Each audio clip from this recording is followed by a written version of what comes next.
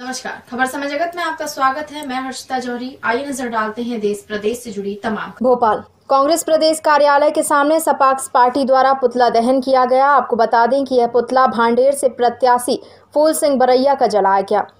फूल सिंह बरैया ने अपने मंच से नारी के सम्मान में अपशब्द कहे थे। उसी को लेकर सपाक्स पार्टी द्वारा पुतला दहन किया गया। राहुल राजपूत ने कहा कि नारी का सम्मान हमारा देश हमेशा से करता आया है और करता रहेगा। अगर नारी के सम्मान में कोई भी अपशब्द कहे जाएँगे तो हम उसको सहन नहीं कर पाएँगे। वहीं उन्होंने सोनिया गांधी से अपील की है कि वे भांडेर से प्रत्याशी फूल सिंह बरैया को टिकट ना दें।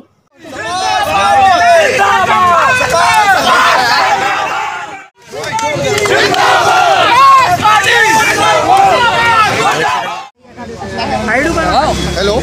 समाज पार्टी में जो कांग्रेस प्रत्याशी ने चुनाव के कुलदीप भरैया जी उनके समाजों आज वाले बयान में हमने नारियों के सम्मान में उनका पुतला देन किया है कांग्रेस पार्टी हमारी मांग है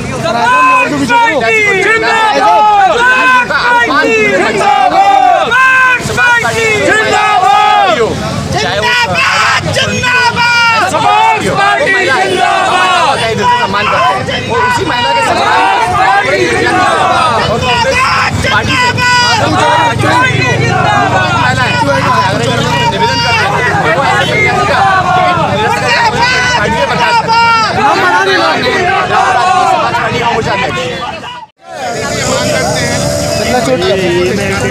चलो नाम बोलो नाम मैं आशीष जैन समाज पार्टी युवा मोर्चा प्रदेश महासचिव आज हम ये आंदोलन कर रहे हैं। भूमि बरैया के विरोध में जिन्होंने नारियों के सम्मान में और नारियों के सम्मान में अपशब्द कहे हैं। और पूरे देश में इस व्यापक आंदोलन को हम बढ़ाने की कोशिश कर रहे हैं। फूल सिंह मरैया माफ़ी नहीं मांगते हैं। अगर कांग्रेस पार्टी उन्हें निष्कासित नहीं करती है तो इस पर उग्र आंदोलन भी हो सकते हैं। हम चेतावनी देते हैं। इस चीज़ की अगर नारियों के सम्मान में तो उसके विरोध में हम कदम उठाएँगे और समाज अपने कदम पीछे नहीं खबर समय जगत के लिए संवाददाता Shakti Bharati, Bhopal. For latest news subscribe to our channel and press the bell icon